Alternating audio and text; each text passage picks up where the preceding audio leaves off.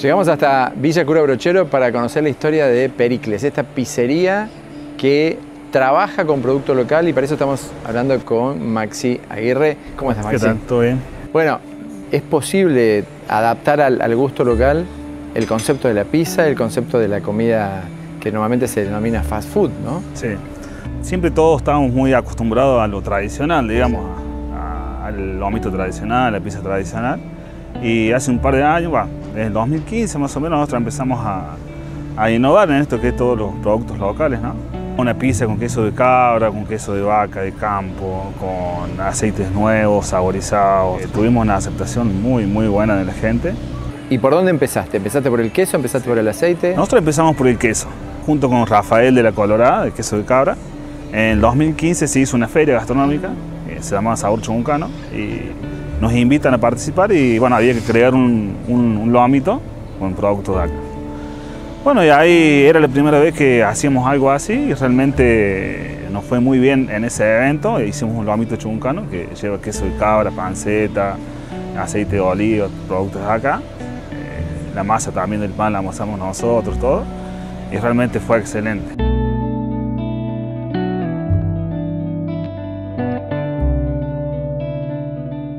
Desde ese día como que uno empezó a, a querer aprender más, a querer probar más y a incorporar en la carta ¿Me diste la respuesta de la gente? ¿Fue Sí. positiva? Y dijiste Sí, acá, hay que seguir.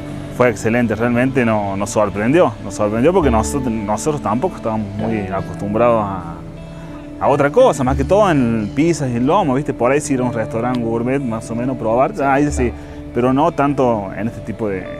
¿Y por de dónde seguiste después de ese lomo? Tenemos un par de pizzas con producto de queso de cabra, oliva, también nueces, cosas todos también de acá. Lo incorporamos en algunos postres también. Tan simples como queso de cabra cremoso que elaboramos nosotros de, de la Colorada con higos en almíbar. Claro. Algo tan simple que vos veías la aceptación que era, que era excelente.